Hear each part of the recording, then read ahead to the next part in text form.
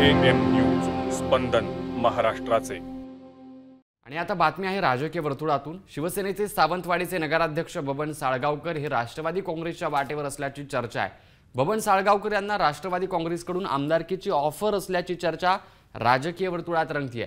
येत्या काही दिवसातच बबन साळगावकर यांचा राष्ट्रवादी काँग्रेसमध्ये प्रवेश होणार आहे.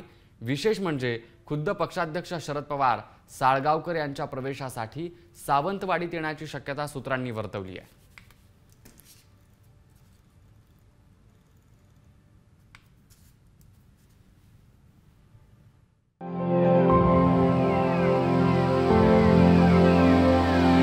न्यूज स्पंदन महाराष्ट्राचे.